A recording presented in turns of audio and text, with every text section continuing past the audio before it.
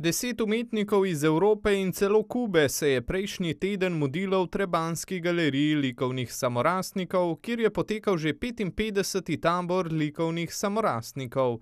V celoti je bil teden pester, zanimiv, uh, bolj poln kot prejšnja leta, kajti letos se je uh, uspelo udeležiti.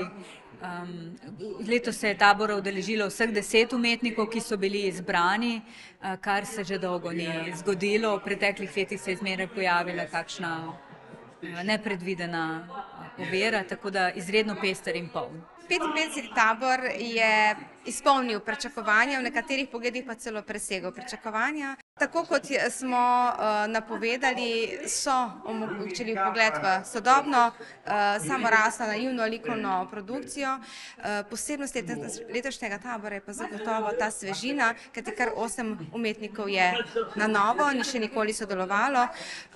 Unesli so neko, neko svojo novo zgodbo, svoje izpovedi, svoje tehnike.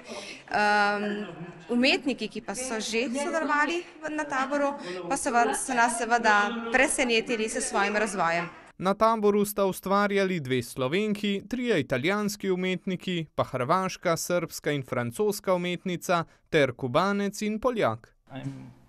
Painting uh, illustration for a book uh, today. Uh, here I have uh, my finished uh, paintings, and now I paint illustration to the book, to the text uh, for the book. it's here. Uh, I must to read it and imagine what is right here and put it on my canvas. Questo rappresenta la storia di Cappuccetto Rosso, Red Cap, e Cappuccetto Rosso e il lupo introducono tutti noi, tutti quanti noi spettatori, all'interno di un mondo magico eh, dove c'è sempre il lupo e il Cappuccetto Rosso che rappresentano la loro storia. Quindi è tutto quanto uh, un invito ad entrare in un mondo fantastico. Zanimivo pa je ustvarjanje Stanke Golopi iz Tolminskega. Ustvarja s peskom, ki ga nabira po vsej državi. Videla sem na poti v Ljubljano iz uh, Sorice do uh, železnikov zelen pesek v asfaltu in sem šla kar na, asfalt, na cestno bazo, pa pre, z možem sva pre vozila celo Slovenijo in dobila peske na zelo različnih krajih, tako da imam doma okrog 60 različnih barv in pa uh, vse te peske presejane na različne debeline. Uh, ampak moja specialnost pa je to, da uporabljam samo naravne peske in pa uh, poseben poudarek pa na tem, da izkoristim učinek različnih debelin za prostor v sliki. Prav vsi umetniki pa se v Trebnjem odlično počutijo. Solamente stare qui è una cosa fantastica perché io posso stare a contatto con altri artisti e condividere idee e passioni, quindi per me già quello è importante. It's very nice here. I'm the first time in Slovenia. Uh, and uh, the place is very beautiful and I feel but I feel like in my home because I live in small I, in small village, not town, and uh, here is a lot of green uh, forest. I feel very good. Izjemno dobro. E, moram reči, da kjerkoli sem bila, nisem imela tako lepih pogojev za moje ustvarjanje, ker ni odvis, nisem odvisna od e, je, e, klima, ne sme, za pesek ne.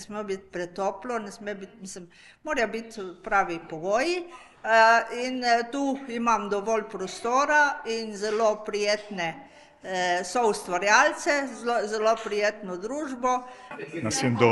Por supuesto feliz porque es, es un viaje muy añorado desde el 2020, la tercera vez que me presento a la galería, la tercera vez que soy seleccionado. Y anteriormente no había podido venir por problemas de la pandemia. Y bueno, al fin todo ha pasado, al fin estoy aquí. Estaba ya deseoso por, conocer a Niushka, por conocer a todos los de la galería, con los que he estado tres años eh, escribiéndome emails y al fin llegué. Umetniki so ustvarjali od nedelje do četrtka, petek pa je bil naporen dan za strokovno žirijo. Nastala dela so izredno prepričljiva, zanimiva, likovno in uh, zelo aktualna. Uh, zato je um, strokovna žirija razpravljala o izbiri in seveda je nagrajenec uh, zasluženo prejel nagrado. Predvidoma leta 2024 bo v galeriji razstavljal kubanec Ramon Rodriguez Fernandez, ki je najbolj navdušil žirijo in tako prejel veliko nagrado. In uh, raziskuje kolaž, raziskuje grafične tehnike, predvsem se osredotoča na grafično tehniko kolagrafije.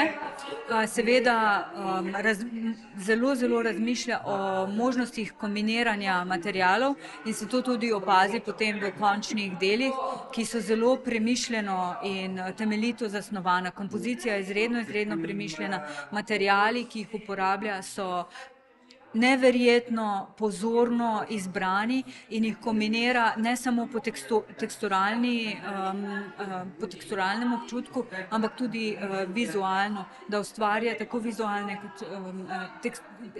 Vabi nas, da, da ga otipamo, da njegovo delo otipamo, čeprav se likovnih del dejansko ne tipa. Prihaja iz uh, drugega kontinenta, uh, na katerem uh, na njegovih delih lahko razberemo njegovo interpretacijo življenja in pa dojemanja aktualnih dogodkov, tako da uh, se že veselim njegove razstave. Njegova tudi likovna tehnika je posebna, uh, je še ni videna v naši zbirki, tako da nas bo zagotovo ta uh, razstava presenetila. Podelili so tudi tri priznanja za likovna dela. Prejele so ga slovenki Natalija Berezina in Stanka Golob ter Svetlana Miladič iz Srbije. Slednja si je prislužila tudi nagrado prijateljev galerije. Vsi umetniki so nad samo galerijo navdušeni. Sí, me gusta mucho Eslovenia, me gusta mucho la galería. E incluso he escrito a Cuba, a todos mis amigos artistas, que a pesar de Dresde ser un pueblo pequeño, tiene una galería muy linda, muy buena, con muchas obras de mucha calidad. Y de verdad que sinceramente estoy impresionado de, de la galería, del paso. Estoy, estoy muy orgulloso de poder exponer aquí en el 2024. Fantastica, meravigliosa, è, è un bellissimo museo e galleria. Gallery is very nice, it's very big. Uh, uh, here is an, enough space to create and uh, show, show paintings, sculptures, very nice. V galeriji sem bila že večkrat, sem si ogledala veliko, pa tudi uh, sem prišla na, uh, na, zdaj na razstavo uh, tega iz Tomaž Hartmann iz Kočevja, ne, ki dela z lesom, ker les, vsi naravni materijali so mi zelo blizu, ne, tako da pa bom še pogostoma prihajala. Od zdaj pa se bo v galeriji lahko ustavila tudi pri svoji umetnini.